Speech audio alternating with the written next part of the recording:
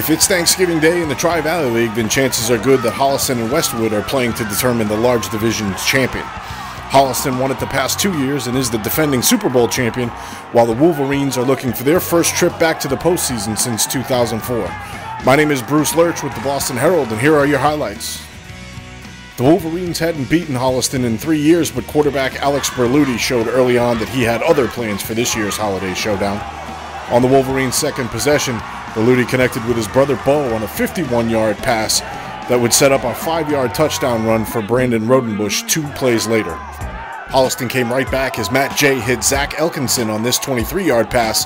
Then TVL MVP Max Athy hit pay dirt with a 26 yard scoring run to tie the game at 7 7. Fast forward to the final minute of the half with Westwood now holding a 14 7 lead as the Wolverines drove from their own 34 down to the Panthers' 14 and faced a tough call on fourth down. Westwood coach Ed Mantie elected to go for it and was rewarded with a big play from his senior quarterback. If you're getting your kids to believe that we're the better team, then you got to, you know, uh, once you have your hands around the throat, you got to squeeze a little bit, and that's what we tried to do. Um, you know, we were we were able to control the clock a little bit there at the end of the first half, get down a position where we could take some chances. You know, got down to fourth and ten, but uh, you know, we, we made that that. Uh, I mean, that's the play of the game right there to push up 21-7 and a half. Westwood went to the ground in the second half as Daniel Roache carried most of the load en route to a 141 yard effort and helped set up a second score for Rosenbush here.